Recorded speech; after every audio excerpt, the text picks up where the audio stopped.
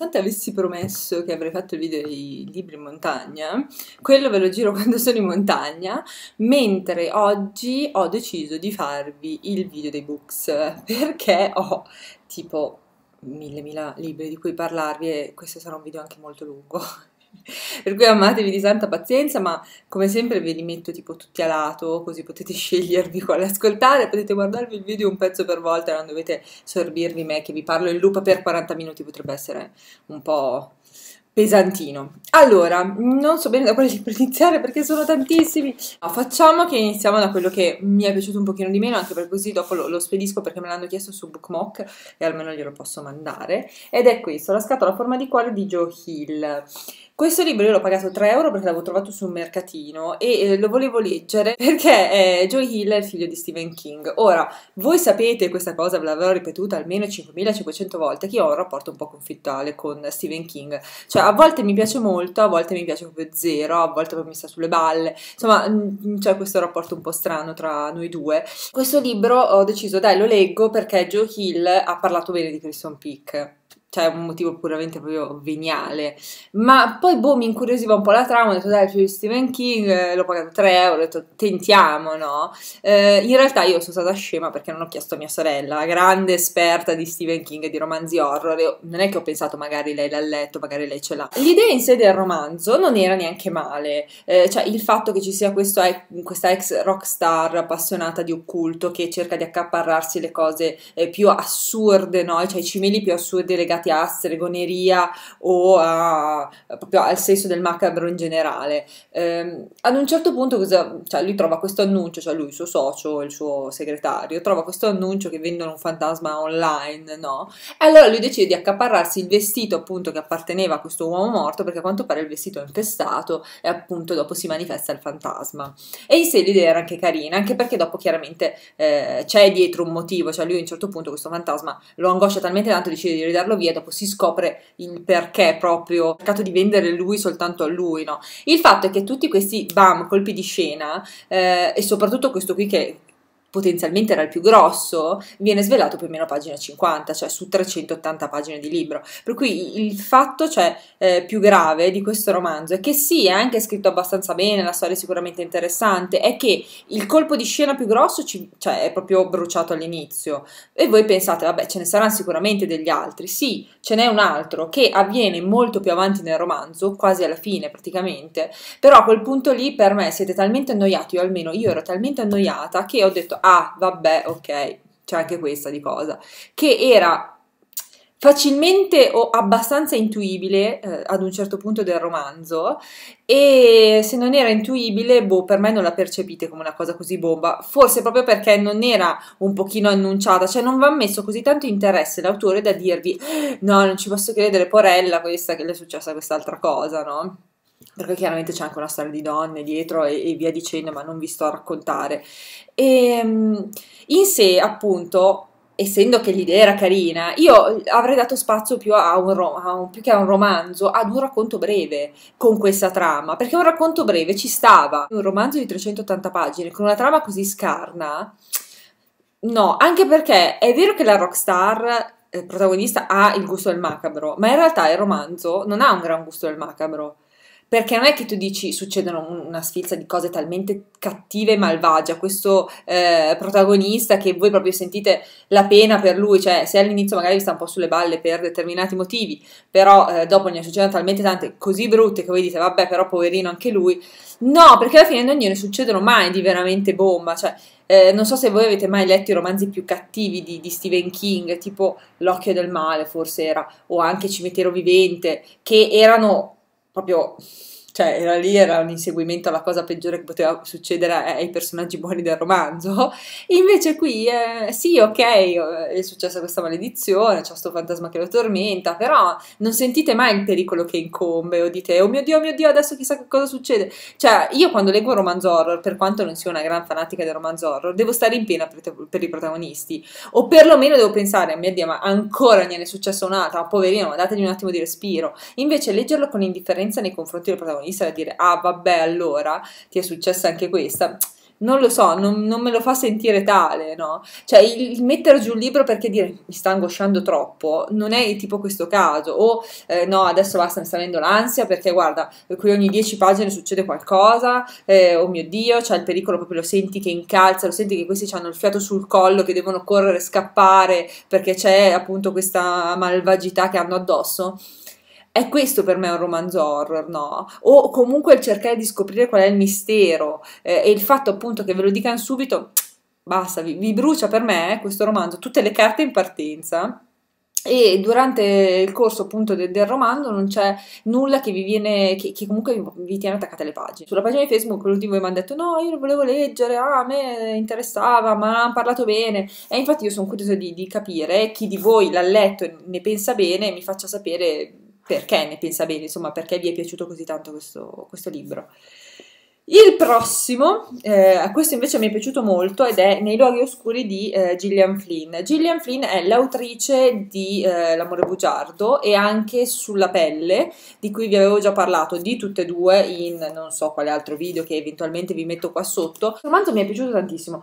Ehm, il mio preferito tra quelli che ha scritto Gillian Flynn per me è L'amore bugiardo. Eh, questo poi c'è e poi Sulla pelle. Sulla pelle è carino, però io non mi sono più informata poi, ma mi dà l'idea che sia il primo primo romanzo che ha scritto, mm, forse perché ha un po' più scarno rispetto a questi altri due di trama. Invece questo è veramente vi incuriosisce tantissimo e, e vi proprio vi acchiappano, anche perché questo è un, è sì un giallo, però un giallo un po' particolare. Succede che la protagonista, che aveva accusato il fratello dell'omicidio di sua madre e i suoi fratellini, o le sue sorelline, adesso non mi, no, le sue sorelline, eh, ad un certo punto viene avvicinata a questo gruppo che gli piace risolvere i misteri un po' irrisolti, tra virgolette, anche se il fratello di lei, comunque della protagonista, è in galera, che le dice, guarda, per me non è stato tuo fratello, no? Per me i poliziotti ti hanno messo in bocca delle cose che tu non, non pensavi veramente, che non hai visto davvero perché comunque eri piccola, eri sconvolta, per cui questi cercano di risolvere il crimine vero, no? E di trovare il vero colpevole.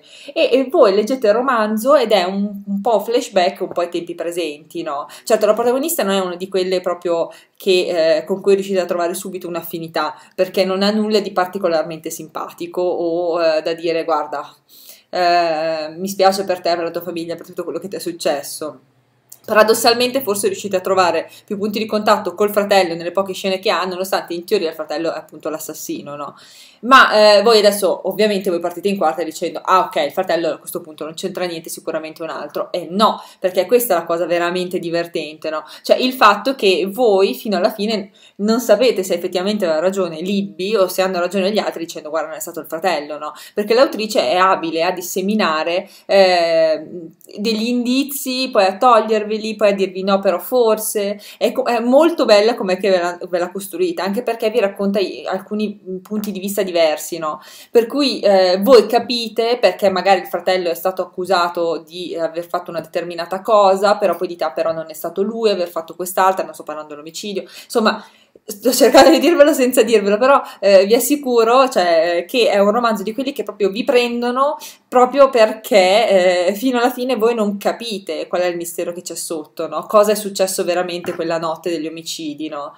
ed è più complicato del previsto. E, e ho trovato la, la, la, svolta finale, quando veramente vi fanno capire che cosa è successo, eh, è tragica e, e bella. Eh, non me l'aspettavo una cosa del genere, è stato un colpo. Non vi dico geniale, perché io non sono così esperta a dirvi, caspita, è stato proprio un colpo di genio, però sicuramente è stata una svolta dal mio punto di vista originale, perché è difficile che, insomma, eh, si trovi una risoluzione del genere nei gialli, no? Eh, cioè nei, negli ultimi gialli perlomeno che ho letto, in cui eh, alla fine sì, voi scoprivate l'assassino se non ci eravate arrivati prima, cosa che ormai mi capita sempre perché purtroppo tra telefilm e libri gialli ormai sono proprio entrata nel loop del giallo, per cui eh, è abbastanza lampante per me ad un certo punto del romanzo chi effettivamente sia stato.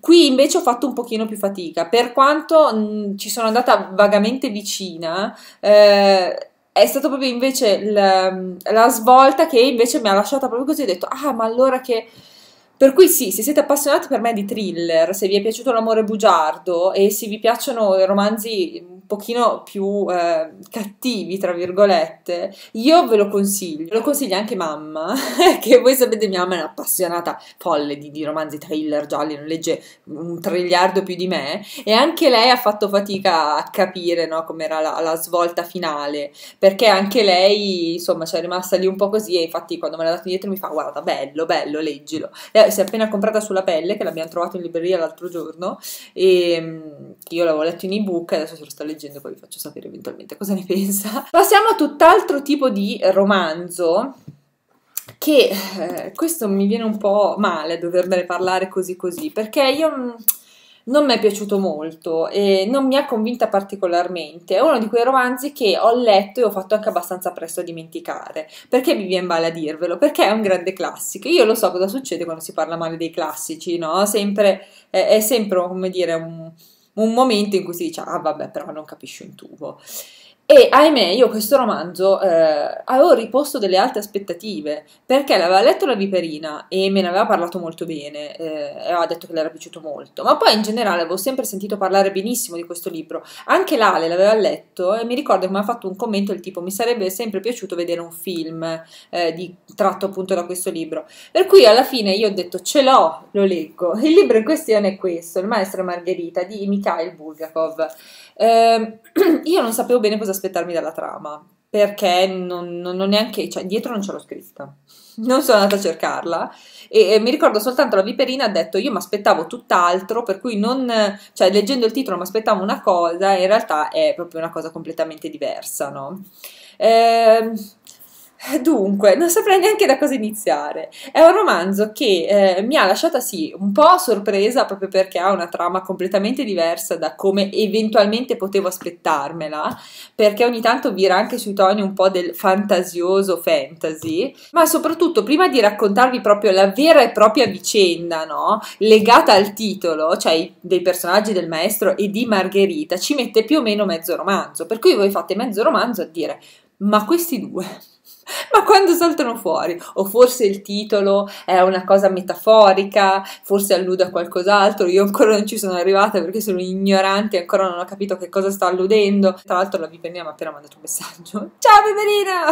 Mi sono fatta un sacco di domande, cercavo di capire, no, dove volesse andare a parlare questo romanzo, perché all'inizio vi racconta delle vicende eh, con dei personaggi così assurdi che sembrano usciti effettivamente da un romanzo simil fantasy, tipo che ne so, a me è venuto a prima botta in mente Jonathan Strange e il signor Norell, che tra l'altro ve ne ho appena parlato in un altro video, però vi giuro, la prima botta mi è venuto in mente quello, non so perché, mentre lo leggevo dicevo, mamma, boh, non so, mi, mi viene in mente quel romanzo, e, e leggendolo io andavo avanti e proseguivo, dicevo, non lo so, ma che vorrà dire questo? Ma alla fine, dopo varie peripezie, sono riuscita a raccapezzarmi nel romanzo, però cioè, una cosa che mi ha un po' lasciata così è che non mi ha mai preso talmente tanto eh, da dire ho voglia di leggerlo, ho voglia di proseguire la lettura, ho voglia di scoprire che cosa succede ai personaggi. Non, eh, boh, proprio non ci siamo trovati, io e, e Bulgakov, non, non sono mai non mi ha mai incuriosito, sì, non, non è riuscito a prendermi, a, a, dirmi vai avanti a leggermi, scopri come andrà avanti questa vicenda, scopri se i vari problemi di questi vari personaggi andranno a risolversi mano a mano che, che prosegui la lettura.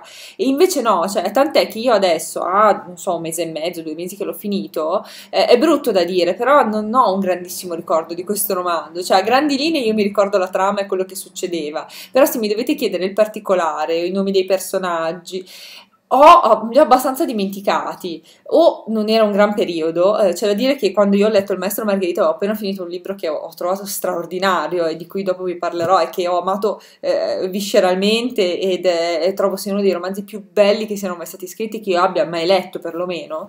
Per cui boh ero talmente presa bene da quello che Forse è stata anche una delusione, appunto, in virtù del fatto che ho letto quel romanzo prima, che ok, non c'entrava niente perché racconta tutt'altra storia.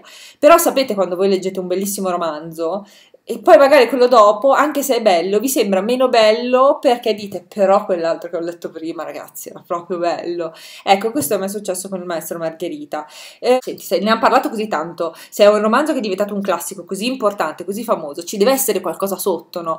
Per cui sono tipo andata a cercare, cioè, le varie critiche letterarie nei confronti del maestro Margherita, cosa che io non faccio mai dei classici, proprio perché ho sempre il terrore che mi rovinino la lettura perché dopo io vado a cercare quelle cose che ho letto nella critica, no? Tipo, che ne so, se nella critica letteraria mi dicono, ah, sai, in questo passaggio ha voluto denotare qual era la condizione dei ricchi rispetto ai poveri, ha voluto far notare com'era la Russia dell'epoca, ha fatto dei, della satira del giornalismo, dei giornalismi dell'altra borghesia, che è vero, eh, dei nobili, ci sono tutte queste cose in questo romanzo, però purtroppo se voi le leggete prima, per me dopo ve le andate a cercare, e allora diventa più uno studio del romanzo, non è più apprezzare il romanzo come storia cosa che io comunque non sono riuscita a fare, però eh, almeno se non altro ci ho provato. Storia in sé, i personaggi in sé, non, non lo so, non mi hanno presa. E anche qui io aspetto un vostro commento, no? Che mi dica, ma come? Non è possibile? Non hai colto questa cosa? Perché non ti è piaciuta quest'altra? E mm, è stato proprio un problema con, con la trama in sé, con i personaggi. Eh, è quello che proprio non mi hanno non, non presa, non sono riuscita a entrare nel romanzo tanto da estraniarmi, cioè da eh, sentirmi parte del quadro dei personaggi. E ogni tanto mi capita con alcuni romanzi, per cui tu li leggi e dici, ah ok, bello, però non fai parte della loro storia e invece quando fai veramente parte della loro storia, per quanto magari sia un romanzo piccolo e magari un, un romanzetto, e comunque vince perché dici ok nonostante sia un romanzetto comunque io sono riuscita a entrare completamente no? a divertirmi a ridere a, a essere quasi di fianco al protagonista e ai protagonisti mentre eh, loro affrontavano determinati problemi e io ero lì con loro e Bulgakov non ce l'ha fatta scusami scusami io proverò a leggere qualcos'altro il tuo lo prometto perché ci provo però mi spiace. Un mattonazzo che ho preso quando c'era stata la giornata internazionale, la giornata mondiale del libro, ed è questo, Perfidia di James Roy. Ora voi dovete capire che io sono andata alla cassa convinta di riuscire a farmi fare lo sconto di 13 euro che avevo sulla tessera, cosa che non mi hanno fatta perché mi hanno aumentato i punti, perché beccavo i punti doppi, per cui alla fine non me l'hanno fatta. E io ero capito, ho detto, vabbè dai, costa tanto, ma chi se ne frega, tanto c'è lo sconto. No, l'ho pagato a prezzo pieno alla fine, perché questo mattone costa 22 euro, no? E che infatti mi ci sono avvicinata avvicinata con una certa eh, ansia dicendo se non mi piace io giuro glielo porto indietro e mi incavolo. Perché l'ultimo libro che ho comprato che costava veramente tanto era stato Wolf Hall e voi sapete che Wolf Hall non mi era piaciuto tantissimo. Ora Perfidia eh, quel eh, geniaccio di Elroy, ha deciso di ambientarmelo durante la seconda guerra mondiale, quando c'è stato l'attacco per l'Arbor, ma eh, più che questo è stato il fatto che i protagonisti di Perfidia sono persone che io già conoscevo, perché sono Dudley Smith, più tutta un'altra serie di personaggi tipo Buzz Mix e via dicendo, perché poi ce ne sono tanti altri. Infatti io mentre leggevo i nomi dicevo, ma anche tu per me, io ti conosco a te, io a te ti conosco. Ed effettivamente erano protagonisti di romanzi successivi ambientati a LA eh, di James Roy, per cui vari Il Grande Nulla, Le Confidential, La Daglia Nera e via dicendo, soprattutto la Daglia Nera, per cui se vi è piaciuta la Daglia Nera questo non potete non prenderlo perché qua ci sono proprio i, i protagonisti eh, della Daglia Nera, per cui eh, Blanchard, eh, Bucky Blecher, se non mi ricordo male, Kay Lake, mi ha detto che se Perfidia avesse avuto 200 pagine in meno sarebbe stato più scorrevole, più interessante. Io me lo sono bevuta, io ho amato follemente questo romanzo, l'ho trovato bellissimo, intenso, lungo, eh, profondo e ehm, è stato proprio uno di quei romanzi alla James Roy che mi mancava da tanto tempo. Io quando, cioè, quando mi manca James Roy, voi lo sapete, vado a rileggere le Confidential, romanzo che potrei citarvi praticamente a memoria, talmente tante volte l'ho letto, ormai sono una fissata di quel romanzo. Penso di avervelo venduto infinite volte, quasi al pari di, di Poldark, però forse vi ho venduto di più le Confidential perché ve lo nomino da più tempo. E mm, so che un sacco di gente, poi io sono contentissima quando succede questa cosa, l'ha poi letto e gli è piaciuto e, e, questa cosa mi rende immensamente contenta perché è proprio un romanzo bellissimo, Le Confidential. Eh, non voglio dire leggere Le Confidential per l'ennesima volta, però fa niente. No, eh, scherzi a parte, eh, Perfidia mi ha ricordato tanto Le Confidential, è vero, eh, manca un po' il mordente di Le Confidential, mm, quello era molto più noir nei toni e non lo so, proprio vi faceva il fatto che eh, ci fossero questi tre protagonisti che voi amavate inconsapevolmente tutti e tre, anche se magari all'inizio uno lo odiavate, l'altro vi stava un po' sulle scatole, però alla fine arrivavate che, boh, gli volete bene a tutti, sì, anche a Exley, purtroppo anche a Exley e la trama vi ricordava appunto uno magari di quei romanzetti noir un po' da, eh, da anni 40, no? quelli che magari venivano pubblicati nei gialli Mondadori, cioè vi faceva un po' giallo dell'epoca, no? un po' film alla Humphrey Bogart. Questo sicuramente meno, perché ha un pochino più i toni del thriller del giallo e soprattutto anche più toni politici. Sono tantissimi personaggi, anche se poi chiaramente la storia si focalizza sempre su quelli, per cui eh, non vi aspettate ah, che, si, che vi racconti 30 personaggi diversi e vi eh, approfondisca tutti e 30 personaggi, no? Nonostante sia un romanzo molto corale, e Roy riesce a raccontarveli bene tutti quanti. Eh, riprende il suo stile, cioè periodi brevi, ehm, frasi molto incisive, taglienti, che so che non a tutti piace, però io, eh, se lui lo sa fare bene, perché attenzione, in White Jazz non lo faceva tanto bene, ma in Lake Confidential, American Tabloid, e in questo lo fa veramente tanto bene, per me prende, proprio perché vi dà l'idea, azioni un po' a scatti, no? Del, proprio vi dà mordente.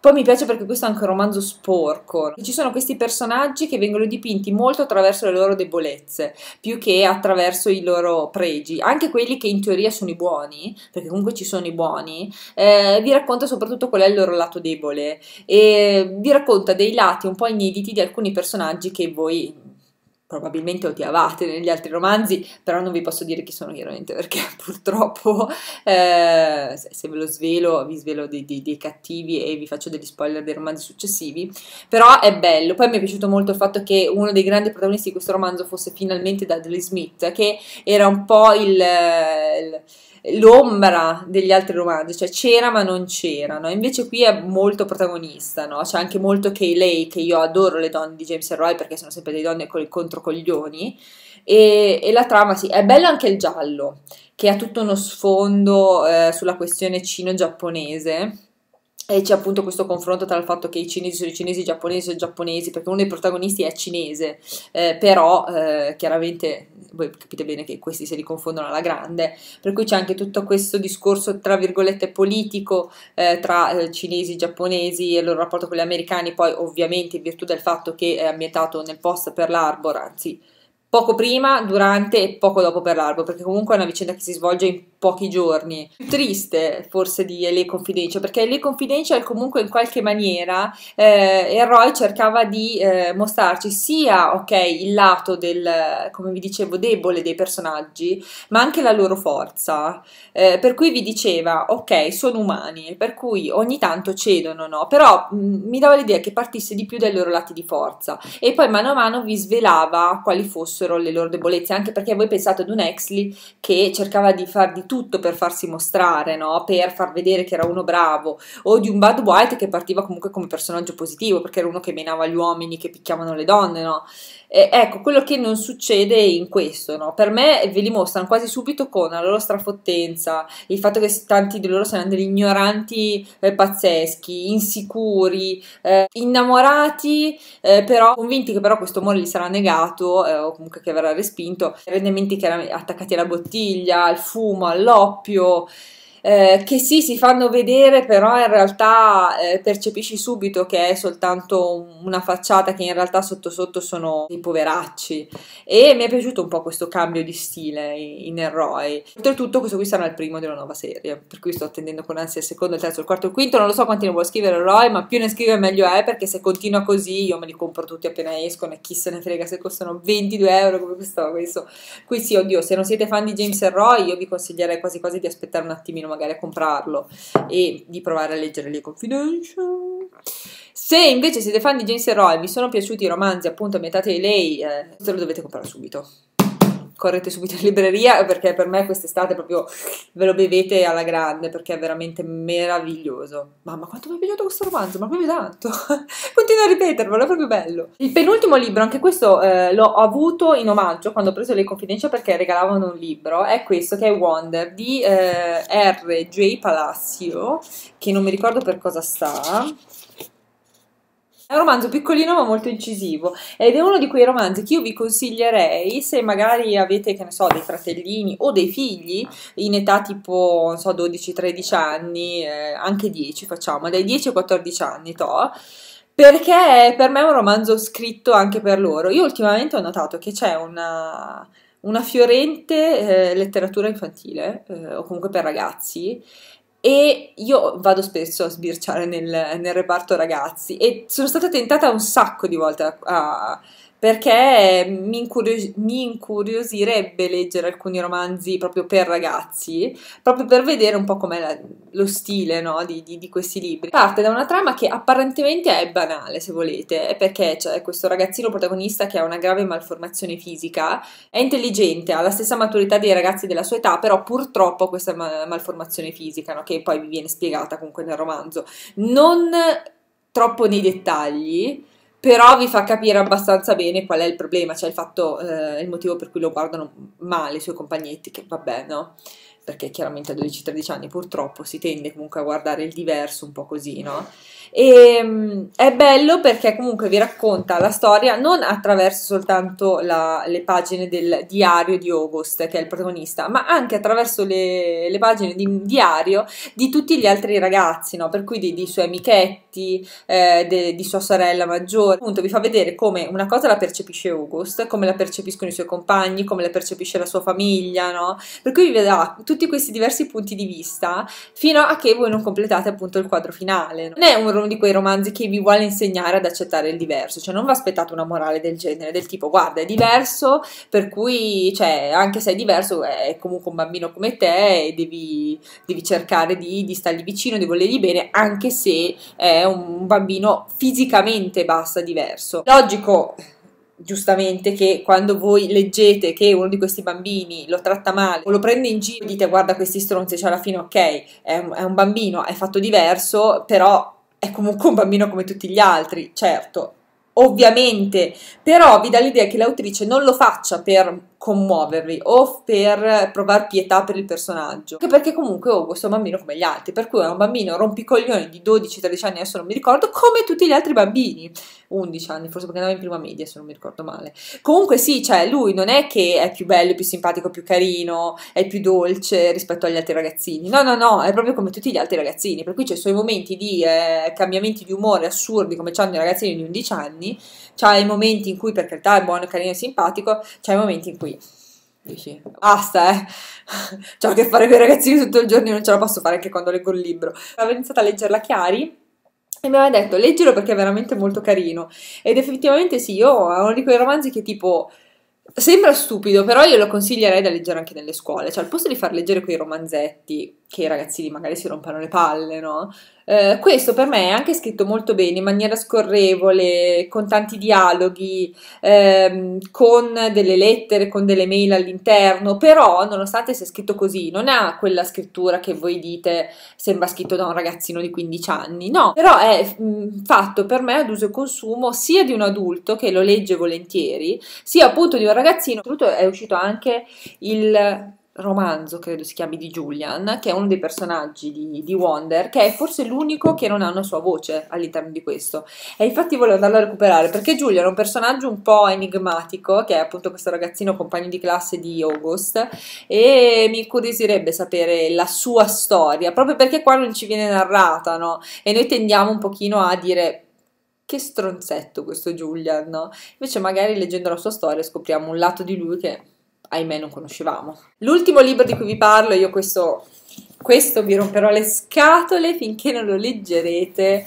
ed è La Valle dell'Eden di John Steinbeck. Io questo libro, mio Dio, l'ho adorato in una maniera incredibile, cioè non so neanche come riuscire a parlarvene per farvi capire quanto mi è piaciuto, no? Perché è uno di quei romanzi che mi sono piaciuti talmente tanto che a parte dire bello, bello, bello in modo assurdo, non so come cercare di eh, appunto descrivervelo. Allora, io della Valle dell'Eden conoscevo il film, quello con James Dean, che però non ho ancora rivisto, per cui non vi so dire in che misura il film vada a riprendere il libro. Da quello che mi ricordo io, il film si basa soprattutto sulla seconda metà del romanzo, più che sulla prima, perché comunque il personaggio interpretato da James Dean, che era Cal, pare molto molto più avanti, no? Eh, nella Valle dell'Eden John Steinbeck ci racconta eh, la realtà, diciamo, del, dell'America rurale, no? Di queste grandi famiglie che abitavano appunto queste fattorie, che lavoravano la terra, eh, di queste, non so, vi dà l'idea quasi di un romanzo color seppia, no? Per dire, eh, voi vi immaginate questi personaggi, capito, sotto il sole cocente, in questi territori sì desertici, con qualche ruscelletto d'acqua ogni tanto, no? Questi personaggi che vivono quasi sempre con la zappa in mano, col cappello in testa, no? eh, che appunto lavorano la terra, eh, queste ragazze, non so, con le trecce lunghe. Boh, mi ha dato tutte queste immagini questo libro, no? e, ed è bellissimo proprio perché non vi racconta soltanto la storia di una famiglia, ma la storia di tante famiglie. E voi chiaramente intuite che prima o poi tutte queste famiglie si incontreranno o si scontreranno, cosa che effettivamente poi ad un certo punto del romanzo succede per cui un personaggio entra in collisione con quell'altro, quell'altro con quell'altro ancora, poi tramite vari trasferimenti eh, succede che eh, questo si innamora di quell'altro, vi dicendo. Il fatto è che io ero partita un po' un po' così con John Steinbeck perché avevo cercato di leggere Furore anni fa e forse non era periodo per cui avevo detto non lo so la Valle dell'Eden se inizia come Furore che era così lento che ti faceva tutte queste descrizioni dell'America della depressione eh, appunto nell'era della depressione insomma non lo so, cosa facciamo? Io ho iniziato a leggerlo così per caso, no? Mi sono messa lì e sono stata immediatamente catturata. Cioè, voi non potete crederci, ma vi giuro, io non riuscivo a mettere, cioè, non riuscivo a smettere di leggerlo questo libro. Cioè, tutte le volte che lo prendevo in mano mi dicevo, beh, leggo due pagine e poi tipo vado, no? Perché magari avevo da fare, no? O non riuscivo a smettere perché mi prendeva talmente tanto, nonostante ci fossero tutte queste lunghissime descrizioni, no? Del paesaggio, eh, dei, dei, vari personaggi, del loro carattere. Cioè, io lo leggevo e soprattutto per quanto riguarda il, le descrizioni dei personaggi, del loro carattere. Vi giuro che ci sono stati alcuni momenti in cui ho pensato, Dio mio, vorrei che qualcuno scrivesse scrivesse una descrizione così di me, perché è bellissima, perché non era il classico, non era la classica descrizione del fisico o la classica descrizione del carattere. Non lo so, se, se riesco a trovare un pezzo di personaggio che era Tom, che era il, uno dei figli questo, eh, del mio personaggio preferito, che era Samuel eh, Hamilton, che cioè io vorrei conoscere uno come Sam Hamilton perché eh, sono quelle fonti di saggezza, è il personaggio praticamente che fa sì il contadino, che ha comprato questa tenuta che praticamente non gli dà niente perché ha, ha il terreno molto eh, secco e nonostante lui eh, tra l'altro viva abbastanza in povertà perché comunque dal terreno non ci tira su niente, lui costruisce un sacco di aggeggi e tipo dopo li presta agli altri ma non si fa mai pagare, no? Per cui questa persona generosissima, eh, buona con tutti, con eh, una parola per tutti, ma non soltanto parole buone di conforto, ma anche uno che quando c'era bisogno ti diceva in faccia la realtà e ti diceva tipo sei un pirla perché continui a far così, no? Eh, però quando c'era bisogno c'era e ti aiutava e ti dava una mano, uno che per i suoi figli cioè, li lasciava andare quando avevano bisogno di, lasci- di lasciarne andare che però li supportava e c'era sempre. Cioè, non so, sarà perché un po' mi ha ricordato mio nonno e allora eh, subito mentre leggevo ho detto io adoro questo personaggio perché... Eh, eh, un po' era anche così, no? Mio nonno, che appena gli chiedevano aiuto lui c'era sempre, se c'era da fare qualcosa eh, manualmente lui te lo faceva, se c'era da inventarsi qualcosa di ingegneria strana in casa lui veniva e creava delle quelle cose assurde con quello che aveva. Ecco, me l'ha ricordato talmente tanto che io mentre leggevo il romanzo mi veniva in mente lui, per cui eh, cioè non potevo fare a meno di, di andare avanti a leggere per scoprire cos'altro si sarebbe inventato. Tipo, questa qua è la descrizione appunto di Tom che vi dicevo prima, che vi dice Tom, il terzo figlio, somigliava tutto al padre, era nato tra la furia e viveva tra i fulmini. Tom era entrato nella vita a capofitto, era un gigante nell'allegria e negli entusiasmi, non scopriva il mondo e la gente, li aveva creati. Quando lessi i libri del padre, arrivò per primo, viveva in un mondo fulgido e fresco e vergine di sguardi come l'Ede nel sesto giorno. Il suo spirito si lanciava come un puledro in un ricco pascolo e quando più tardi il mondo eresse i recinti, si lanciò contro il filo spinato e quando si trovò di fronte all'ultima barriera, vi si lanciò attraverso sfondandola. E come era capace di una gioia gigantesca, così era suscettibile di immenso dolore, e quando gli morì il cane gli parve la fine del mondo. Io quando ho letto questa descrizione ho detto, oh mio Dio, cioè sono rimasta incantata e l'ho tipo riletta non so quante volte e l'ho dovuta sottolineare, ho detto, cioè io dovrei stamparmela questa e mettermela da qualche parte perché è meravigliosa e il fatto che ce ne sono tantissime di parti così, proprio che voi le leggete e le sottolineate, le rileggete, pensate cioè, io voglio essere descritta così, io voglio che si dicano queste cose, io vorrei leggerne, non so, altri mille miliardi di, di romanzi così. E, e le, poi tutto quello che dice Sam Hamilton, io cioè non lo so, fare un libro soltanto con, con Sam Hamilton, protagonista, non lo so, è meraviglioso. Poi vabbè, non soltanto Sam Hamilton, ma anche tutto il resto, no? Eh, tutta questa storia appunto di padri e di figli, eh, di madri, eh, un romanzo soprattutto fatto di persone e di grandissimi personaggi e sono tutti quanti talmente belli e talmente meravigliosamente descritti che cioè, voi leggete le descrizioni dei luoghi e non vi annoiano perché gli date uno sfondo e perché vi sembra proprio di essere lì, vi sembra essere nell'America dell'epoca, no? E su quei campi, in quelle fattorie gigantesche, dentro quelle case, in quelle città polverose. E poi leggete dei personaggi e, e percepite come si muovono in quei luoghi e gli siete proprio a fianco. È quello che vi dicevo prima che non mi è successo col maestro Margherita. Qua invece mi sembrava di essere proprio con loro, mi sembrava di eh, prendere parte alla loro storia ed è per questo che l'ho trovato veramente meraviglioso questo libro, perché poi ci sono stati tutti i personaggi, nonostante cambiassero nel corso del romanzo, perché appunto essendo un romanzo corale, essendo una saga familiare, chiaramente a un certo punto certi personaggi non ci sono più e poi ne, ne arrivano degli altri, no? Vi, cioè, vi dispiace aver mollato quegli altri, però trovate talmente belli anche quelli che arrivano che cioè, voi andate avanti a leggere ed è bellissimo. E nonostante anche c'è un personaggio che voi odiate con tutto il cuore, vi piace leggere anche la sua di storia. Io, cioè, ha fatto il miracolo per me questo, con questo romanzo John Steinbeck, perché ok, è vero, vi racconta un'epoca, eh, vi racconta anche di... Eh, di, tutti, eh, di, tutta una serie di problemi sociali dell'epoca, eh, però quello che io ho percepito di più e quello che sicuramente mi rimarrà più impresso sono appunto tutte queste persone.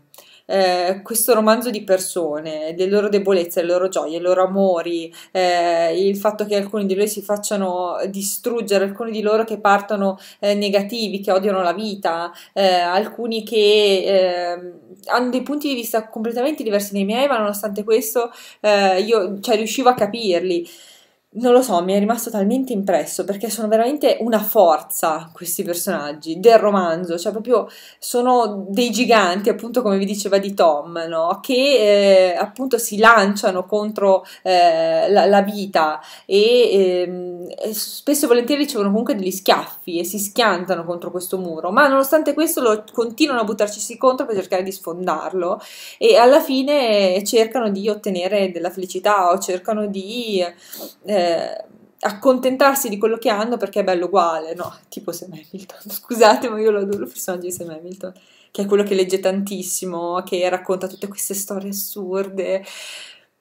Vabbè, mi sono innamorata di quel personaggio, anche se ho amato tantissimo i personaggi anche di Cal, di Adam Trask, di Aaron e anche i personaggi femminili. Poi c'è Lin, che è questo servo eh, cinese che sta appunto in casa di Adam Trask, che anche lui è un personaggio meraviglioso, eh, che è un po' il tuttofare, ma che ha cresciuto questi due ragazzi come se fossero quasi figli suoi. Vabbè, non vi sto a dire nient'altro, voi dovete leggerlo questo libro perché è strepitoso, non lo so, meraviglioso. Se avete letto qualcos'altro di John Steinbeck ditemelo perché io voglio leggere tutto quello che ha scritto, devo andare a recuperare Furore, questo sicuramente, perché non, non posso fare a meno di, di, di, rileggerlo e mm, devo recuperare quello più tanti altri. Voi fatemi sapere quali avete letto così io eh, poi vaglio le varie possibilità e me li vado a cercare. Io vi saluto, spero di eh, avervi convinta a recuperare alcuni di questi libri, eh, fatemi sapere se c'è qualche libro che avete letto che a voi è piaciuto o che a voi non è piaciuto tra questi. Vi auguro buone letture, noi ci vediamo prestissimo. Le vacanze, se alcuni di voi sono già in vacanza, vi invidio tantissimo e ci vediamo prestissimo. Ciao!